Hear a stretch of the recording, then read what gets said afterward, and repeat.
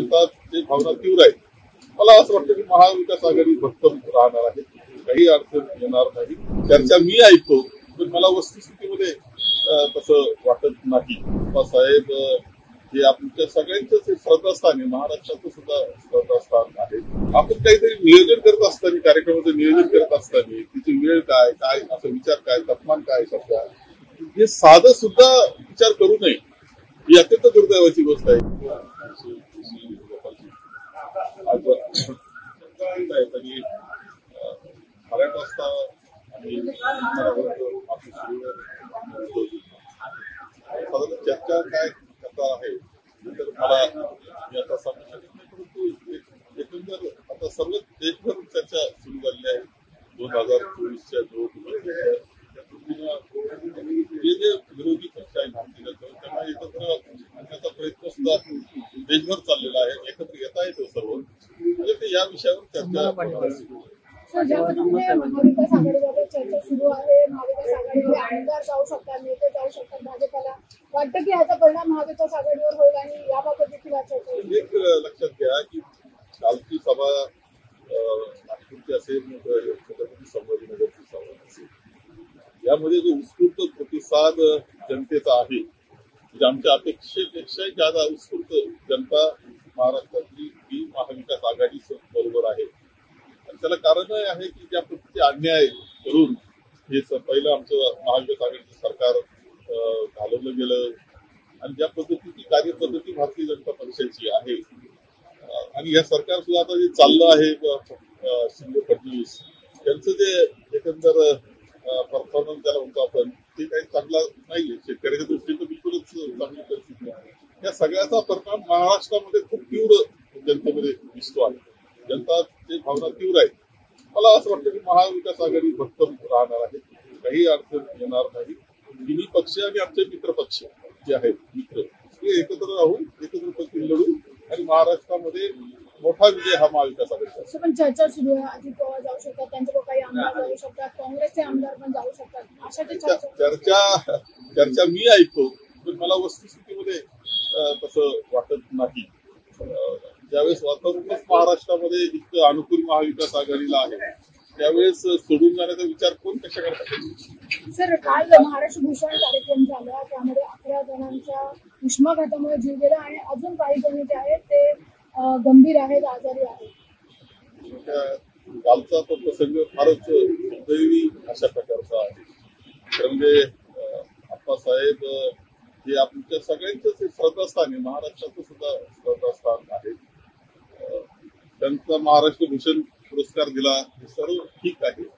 परंतु आपण काहीतरी नियोजन करत असताना कार्यक्रमाचं नियोजन करत असताना तिची वेळ काय काय असा विचार काय तापमान काय शब्द हे साधं सुद्धा विचार करू नये.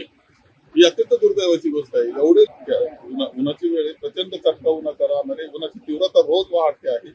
चाळीसच्या पुढं जर टेम्परेचर आपलं गेलेलं आहे त्रेचाळीस पर्यंत टेम्परेचर गेले तर बसू शकत नाही लोक दहा मिनिटांमध्ये तुम्हाला उष्माघात होऊ शकतो. ही परिस्थिती पाच दहा मिनिटं तर. लोक जर तासन तास बसणार असतील तर काय परिणाम होणार याचा विचार करू नये. आता असं अशा पद्धतीनं आदरणीय आप्पा साहेबांवर ढकलणं होतं बिलकुल बरोबर नाही. थोडं साहेब सोशल मीडियावर आप्पासाहेबांच्या विषयी वेगवेगळे ट्रोल आता केले जात आहेत.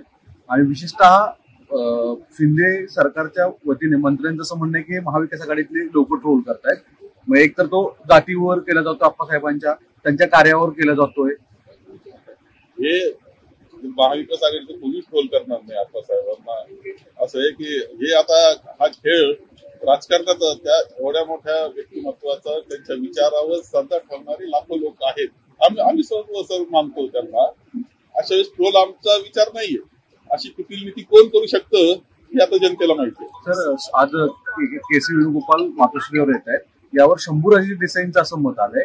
की येणार होते राहुल गांधी पण बाप आठवलं के सी वेणुगोपाल यांना. म्हणजे ही मातोश्री थट्टा नाही आता.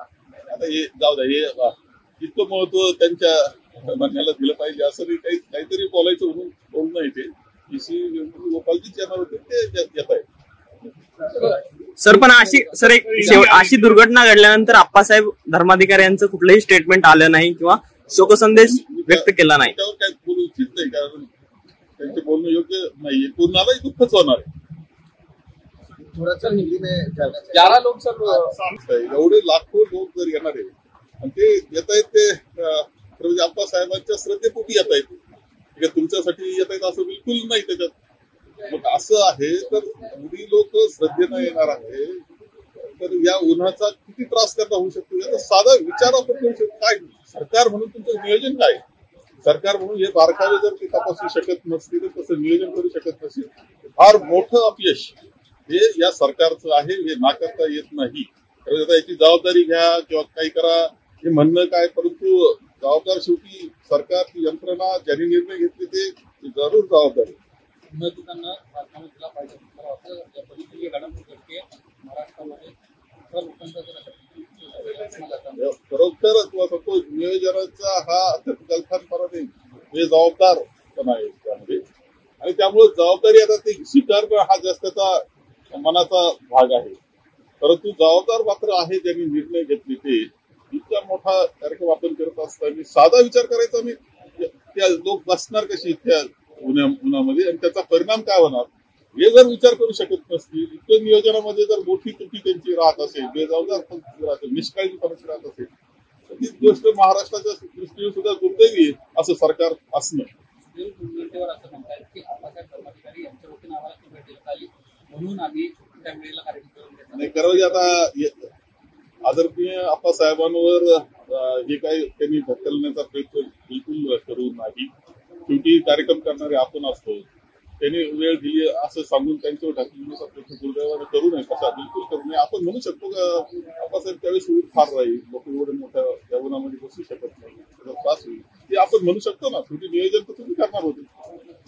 पण त्यांचं असं म्हणणं आहे की नियोजन विचारूनच करण्यात आलं होतं. ज्या पद्धतीने त्यांनी सांगितलं तसंच करण्यात आलं. नाही नाही तेव्हा त्यांना सुद्धा मोठं माणूस येते त्यांनी जरी सांगितलं असलं तरी आपण त्यांना असं सांगू शकतो तर ही वेळ योग्य नाही ती वेळ उन्हाची वेळ आहे. प्रचंड चटका उन्हाचा राहणार आहे उन्हाची तीव्रता रोज वाढते आहे. चाळीसच्या पुढं जर टेम्परेचर आपलं गेलेलं आहे त्रेचाळीस पर्यंत टेम्परेचर गेले तर बसूच शकत नाही लोक तुम्हाला पाच दहा मिनिटांमध्ये तुम्हाला उष्माघात होऊ शकतो. ही परिस्थिती पाच दहा मिनिटं बसल्यानंतर लोक जर तासन तास बसणार असतील तर काय परिणाम होणार याचा विचार करू नये. थोडं- आता असं अशा पद्धतीनं आदरणीय आप्पा साहेबांवर ढकलणं होतं बिलकुल बरोबर नाही. थोडंसं एक सोशल मीडियावर आप्पासाहेबांच्या विषयी वेगवेगळे ट्रोल आता केले जात आहेत.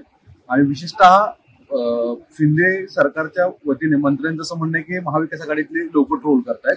मग एक तर तो जातीवर केला जातो आप्पासाहेबांच्या. त्यांच्या कार्यावर केला जातोय. हे महाविकास आघाडीचं इतक्या मोठ्या प्रमाणामध्ये आपण इतके वर्ष म्हणजे मंत्री होतात इतके वर्ष आमदार आहे महाराष्ट्र भूषण पुरस्कार ज्या दिवसापासून दिला जातोय ते हा. जवळपास सोळा कोटी रुपये खर्च केले गेले. हे अट्टहास त्याच्यासाठी होता एवढा सोळा कोटी रुपये खर्च केले या कार्यक्रमासाठी.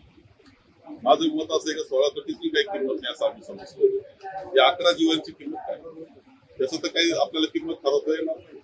म्हणजे एवढे पैसे खर्च करून शेवट तुम्ही काय मिळवलं? हे तर आमचे अप्पासाहेब धर्माधिकारी हे आदरणीय आहे श्रद्धास्थान आहे महाराष्ट्राचं भूषण आहेच आहे. तुम्ही काय मिळवलं? तो कार्यक्रम करून मिळवलं काय शेवटी? म्हणजे सोळा कोटी गेल्याचं दुःख नाही हे अकरा जीवांचं काय? त्या कुटुंबाचं काय? तुमचं नियोजन जर एवढा मोठ्या खर्चाचं नियोजन होतं तर ही माणसं वाचवता का मिळाली तुम्हाला? कसं काय? त्यांना त्रास कसा झाला?